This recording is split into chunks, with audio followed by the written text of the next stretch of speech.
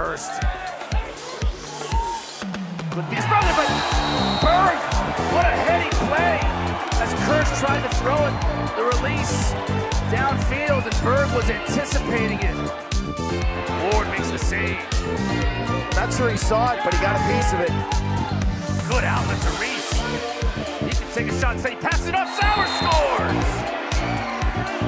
What a play. What a play. Costabile. Jones here trying to get something done. Works his way through and finally does.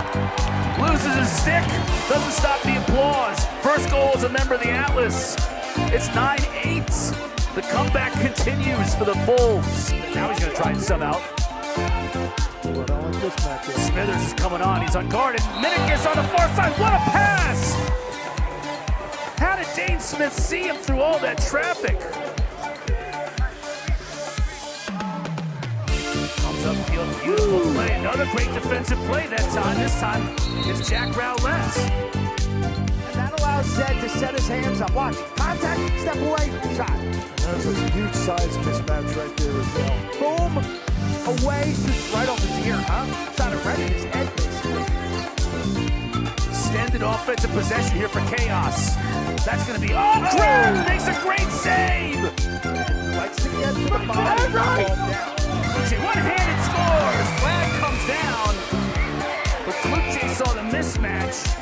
took advantage of it. The strength. He wants to get topside, and he's going to take you for a ride. Montgomery, he'll shoot for two.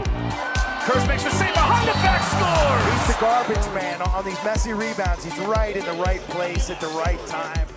Bertrand gets to his left, shoots, scores.